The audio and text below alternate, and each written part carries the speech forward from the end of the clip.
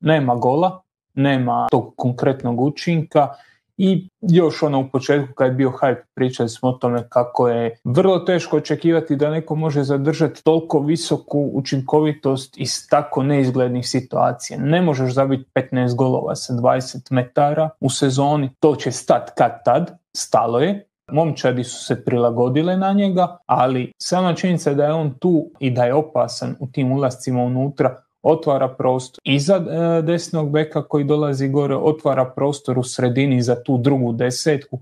kad igraju Fruk i e, Janković zajedno. Ja mislim da on i dalje služi svrsi, da on nije igrač e, koji je sad u lošoj formi, da, izostao je taj njegov učinak, ali kao što smo rekli prije dva, mislim da je to bilo prije dvije epizode, da ja stvarno mislim da on i dalje jako dobar i da radi razliku u.